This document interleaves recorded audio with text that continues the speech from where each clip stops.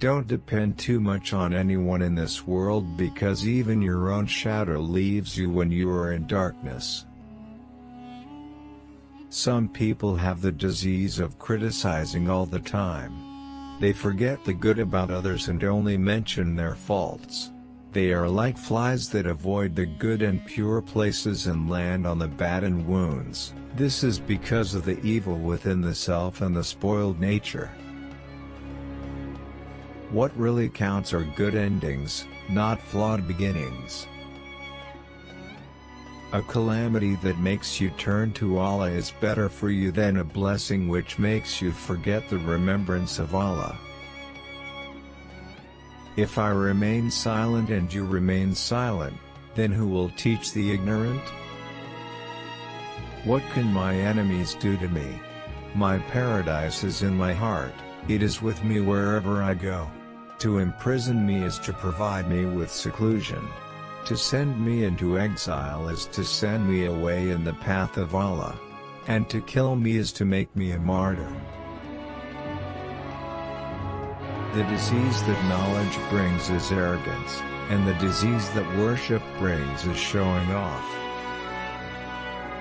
Allah will support the just state even if it is led by unbelievers, but Allah will not support the oppressive state even if it is led by believers. Dhikr, remembrance of Allah, is to the heart as water is to a fish, see what happens to a fish when it is taken out of water.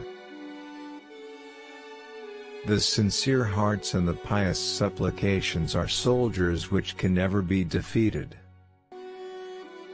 You should not look at what the person used to do, rather you should look at what kind of person they are today.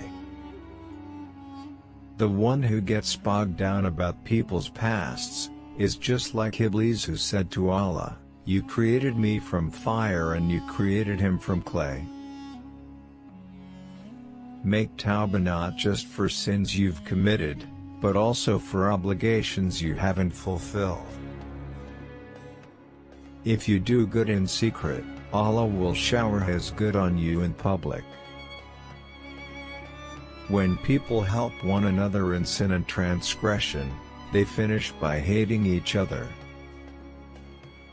The real prisoner is the one whose heart has been kept away from remembering his Lord, and the real captive is the one who has been captivated by his whims and desires. Guidance is not attained except with knowledge and correct direction is not attained except with patience. When someone offends me, I think it's a gift from Allah, God. He, Allah, is teaching me humility. Allah guards the justice-loving government, even if it is the government of non-Muslims, and destroys the tyrant government even if it is the government of Muslims. Everyone experiences bouts of jealousy, but the dignified person conceals it, while the vulgar one acts upon it. Whatever is not done by the permission of Allah will not happen, and what is not done for the sake of Allah will not benefit or remain.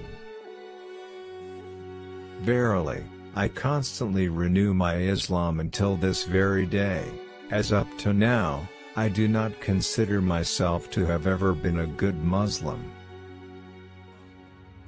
In this world there is a paradise, whoever does not enter it will not enter the paradise of the hereafter. Men mixing with women is like fire mixing with wood. Beautiful leaving, hajr is to leave without harming. Beautiful pardoning is to pardon without rebuking, and beautiful patience is to be patient without complaining. If you correct your hidden deeds subsequently, Allah will correct your outward deeds.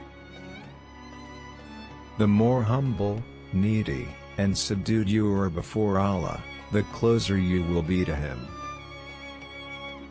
The sign of the people of Bida is that they do not follow the Salaf. Contentment is the greatest door that one enters to Allah, It is the source of tranquility for the worshipper and paradise on earth. Whoever does not enter it will not enter the paradise in the hereafter.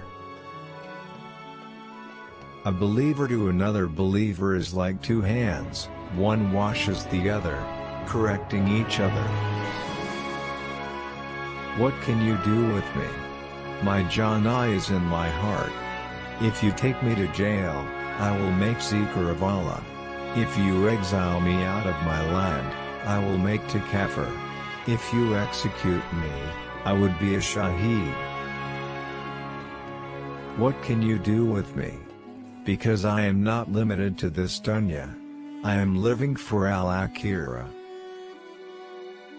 No love that a man has will only give him pleasure in return he shall also suffer pain because of it, except for love of Allah. The people of the Sunnah are the most knowledgeable of mankind concerning the truth, and the most merciful of the creation towards the rest of creation. Avoiding the temptation to sin and being patient upon that, is greater than being patient whilst being afflicted with trials. Imprisoned is he whose heart is imprisoned from Allah. Captured is he who is captured by his desires. This whole religion revolves around knowing the truth and acting by it, and action must be accompanied by patience. A man will never fear something besides Allah unless it be due to a disease in his heart. Sins are like chains and locks preventing their perpetrator from roaming the vast garden of Tawhid and reaping the fruits of righteous actions. Among the principles of the Ahlus Sunnah wal Jama'ah the attitude of peace and purity of their heart and tongue towards the Sahaba companions of the Prophet, saw. Through patience and certainty, leadership in the religion is obtained. Sins cause harm and repentance removes the cause. The one who is, truly, imprisoned is the one whose heart is imprisoned from Allah and the captivated one is the one whose desires have enslaved him.